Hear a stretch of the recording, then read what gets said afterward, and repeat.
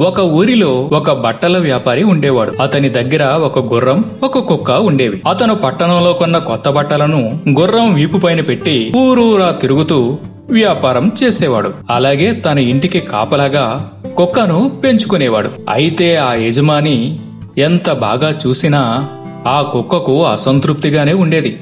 దొంగ వ్యాపారి ఇంటిలోకి చొరబడి చాలా విలువైన బట్టల మూటలు బండిపైకి చేరవేయసాగాడు. యజమానిని అప్రమత్తం చేయాలన్న ఆలోచన కుక్కకు రాలేదు. మరి నీ యజమానిని నిద్రలేపలేదేమిటి నాకు నా యజమాని అంటే అసహ్యం. విశ్వాసం లేని పనివాడికి యజమాని అయ్యే కంటే అసలు పనివాడు లేకపోవడమే మేలు. ఒక దొంగలో ఉన్న నీతి తనలో లేనందుకు విచారిస్తూ వెంటనే తేరుకుని గట్టిగా మొరగడం ప్రారంభించింది. మూటలను అక్కడే వదిలేసి వేగంగా పరుగులంకించాడు.